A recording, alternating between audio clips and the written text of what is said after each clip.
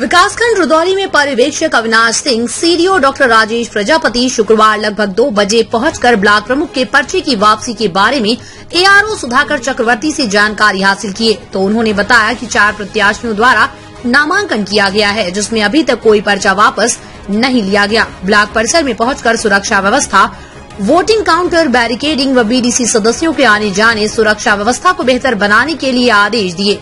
BDO Vimla Chaudhary block संबंधित जानकारी लिए, उन्हें चुनाव में किसी प्रकार की असुविधा के बारे में जानकारी लिए। इस पर बीडीओ ने कहा कि किसी प्रकार की कोई समस्या नहीं है। चुनाव हेतु समुचित व्यवस्था कर ली गई है।